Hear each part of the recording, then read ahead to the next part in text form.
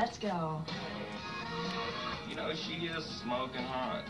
It was meant to be, you know, very edgy and kind of dominatrix-ish. I know I sound serious.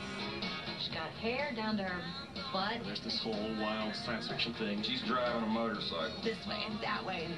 She's in the middle of Tron. You have to really try to imagine the setting, because the setting isn't actually really there. Only Shania can do a video where she's being chased by a giant transformer. I don't have any idea what that song has to do with a monster chasing a girl on a motorcycle. It's art.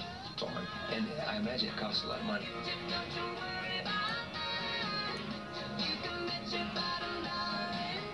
feel like I'm watching some MTV Michael Jackson epic.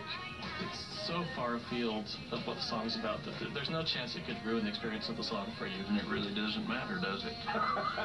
if that's anything like the future's gonna be, Here's how it's gonna be. but I want to be an astronaut. I'm gonna love you and you're gonna fall in love with me.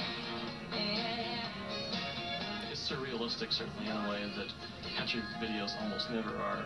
We've just created a whole new industry. Four minute action films for women with a kicky song underneath.